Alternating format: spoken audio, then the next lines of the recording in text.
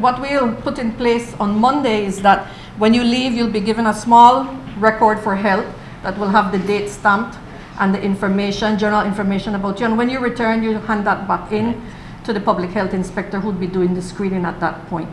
If, if you are ill, obviously, we would like for you to say to us that I've had a fever, I, I, I feel unwell, because the whole, the entire purpose is for us to detect very early and isolate persons early and get treatment early if you're unwell. And with regards to the 24 hours, remember that in health we do surveillance.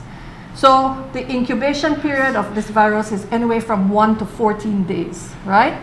So you can be exposed and on day 13 you start with symptoms. Most commonly, it's before five days. And the reason we've done the 24 hours is it's a true surveillance. We're trying to pick up cases. We are not saying that you got it from Mexico. We're not saying that, oh, you know, what you did over there, but we want to pick, you, pick it up and isolate you early so that we can contain the spread in country.